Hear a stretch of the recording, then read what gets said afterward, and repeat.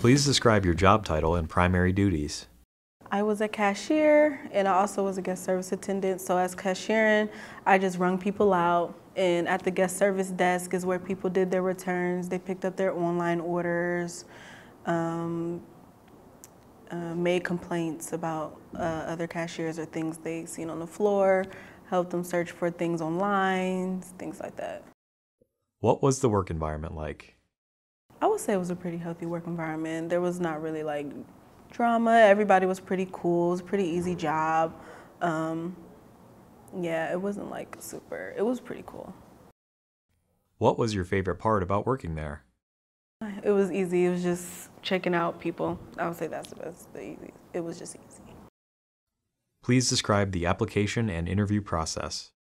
The application process, um, it was easy too. Not really uh, you didn't really need that much experience. I don't even think they really like asked for a resume. You just kind of like fill, fill in the blanks. It wasn't super long. They didn't have like those long questionnaires questionnaires at the end of it. It was pretty easy.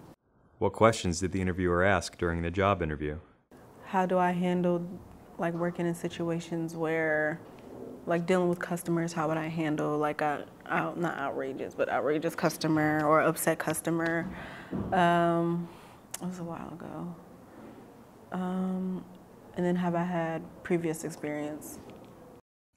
How were you notified that you received the job? I think it was, I know it was by phone. There was no email. And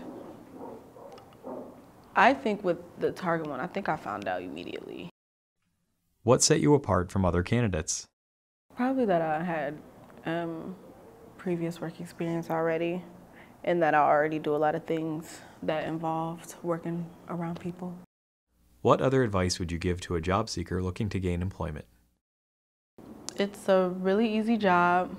They pay a lot above minimum wage, and there it would be a good more of a good part-time job, I think, only because sometimes there's not really a lot of opportunity to move up. So.